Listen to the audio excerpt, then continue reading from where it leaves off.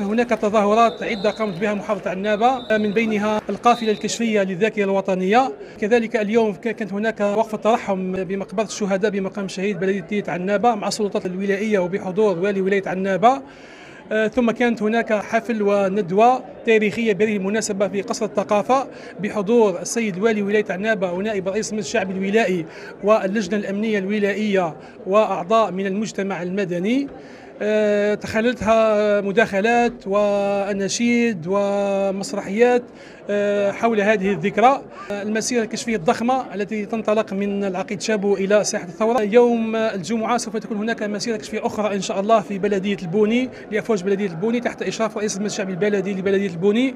وكذلك يوم يوم 1 جوان سوف تكون هناك مسيرة أخرى كشفية لبلدية برحال في حي الكاليتوسا تحت إشراف رئيس بلدية برحال. وكما سوف تكون هناك آه، دورة للقائد المقدسي من تنظيم فوج عباد رمضان تحت إشراف آه، الولائي للتدريب.